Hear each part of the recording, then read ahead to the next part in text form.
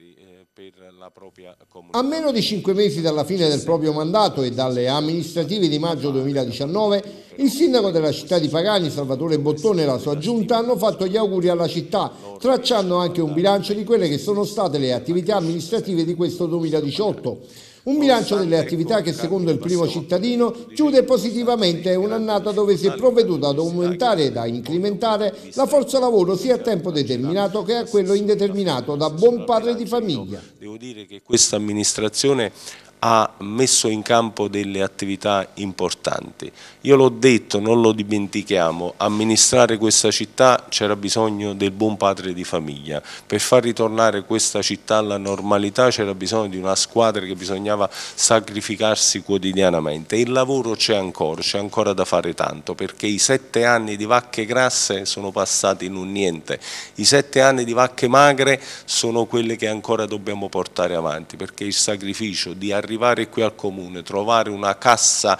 in negativa di oltre 2 milioni di euro, trovare oltre 5 milioni di euro di fondi vincolati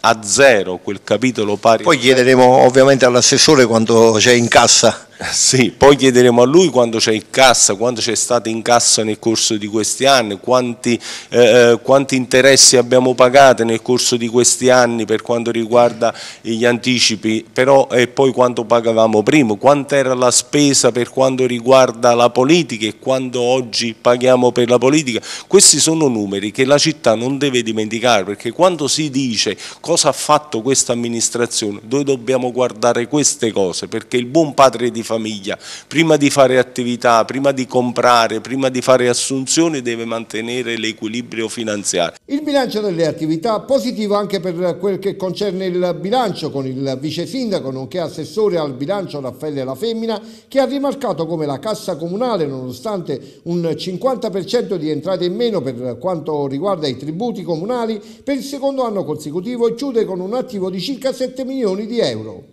Noi abbiamo ereditato una situazione pesantissima, un paese che oramai era, era nel baratro più assoluto, quindi era eh, praticamente in dissesto. Eh, siamo riusciti ad ottenere l'approvazione del piano di riequilibrio eh, che abbiamo puntualmente rispettato in questi anni, eh, abbiamo mantenuto l'equilibrio di bilancio in ogni momento, abbiamo da, fin da subito eh, tagliato gli sprechi, eh, razionalizzato la spesa discrezionale, in questi anni ehm, non troverete nei bilanci un euro di rimborso spese e trasferte per gli amministratori, quindi i costi della politica sono stati ridotti al minimo, eh, nonostante quello che diceva il sindaco eh, riguardo alle entrate, perché eh, ad oggi per il 2018 abbiamo incassato 40, intorno al 40% della Tari, eh, nonostante noi eh, riusciamo ancora oggi a rispettare le nostre posizioni debitorie. Noi abbiamo azzerato milioni di euro di debiti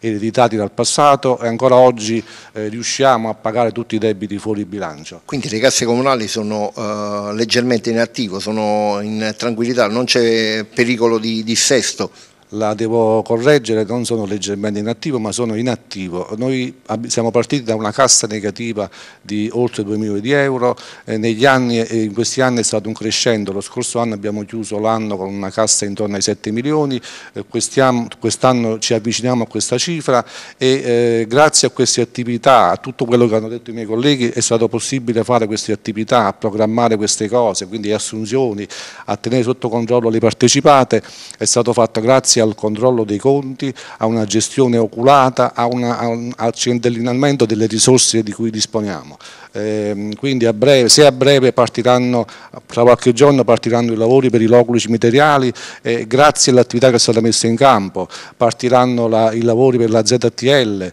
eh, partiranno le attività che prima elencava l'assessore Palladino, le tante cose dette dal sindaco, le assunzioni, eh, siamo riusciti a fare le assunzioni eh, perché abbiamo reso sostenibili finanziariamente queste assunzioni.